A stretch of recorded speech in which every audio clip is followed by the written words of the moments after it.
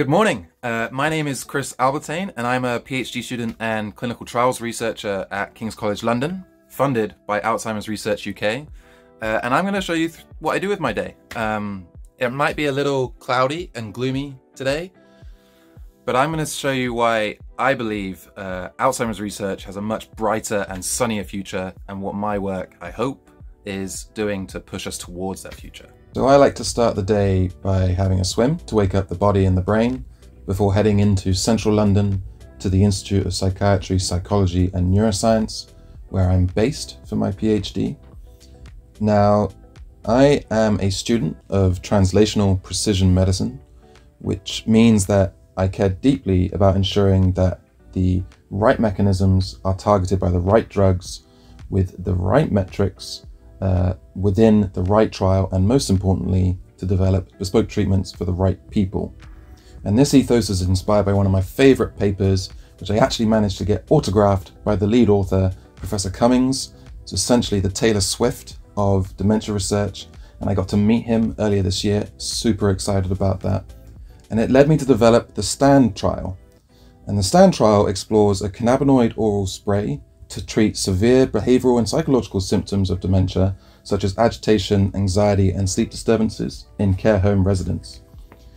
It's meant that I haven't had the typical clinical research job in a lab or a hospital lately, and instead I've had the joy of visiting care homes all around Greater London to conduct psychiatric, medical, and cognitive assessments.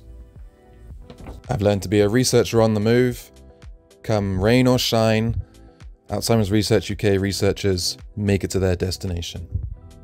Right now, however, I'm focused on analysing the data I've collected, promoting and persevering with my data science and AI skills. A lot of head scratches, but uh, I think I'm getting there. And I'm also starting to write papers, co authoring and first authoring, and of course, writing up my thesis.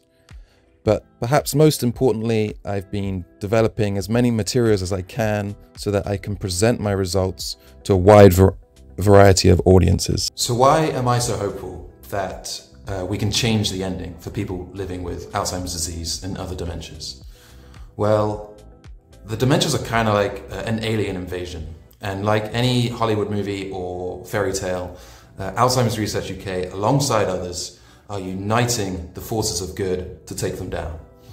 And I'm not a director of any institute or a professor up here, um, and I recognize that my work does stand on the shoulder of shoulders of giants.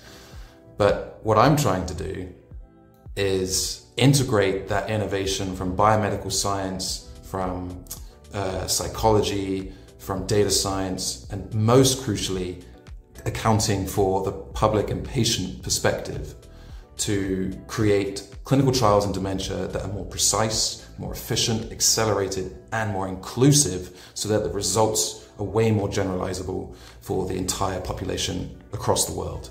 So we can take this, these dementias down.